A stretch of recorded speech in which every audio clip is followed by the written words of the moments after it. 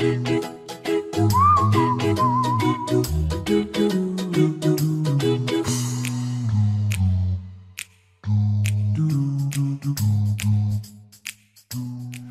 2009 yılında ben Sanan keçisini bu işe başladım. Ee, bu zamana kadar e, 51 35 tane bir 45 tane de oğlak sattım. Ama ben bu oğlakları aslında satamıyordum.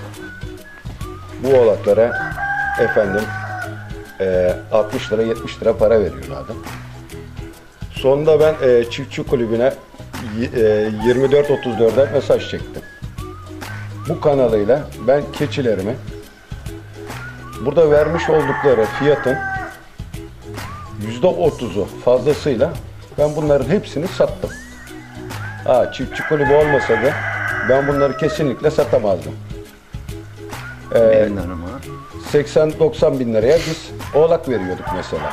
Ama çiftçi kulübüne üye olduğum için e, biz bunları e, 150 liraya 140 liraya sattık. Onun için çok memnunuz. E, çiftçi kulübünden Allah razı olsun. E, arkadaşlarımız sağ olsunlar. Bizlerle ilgileniyorlar. Yani bizim tek kurtuluş ka- kaynağımız çiftçi kulübü. Vodafone.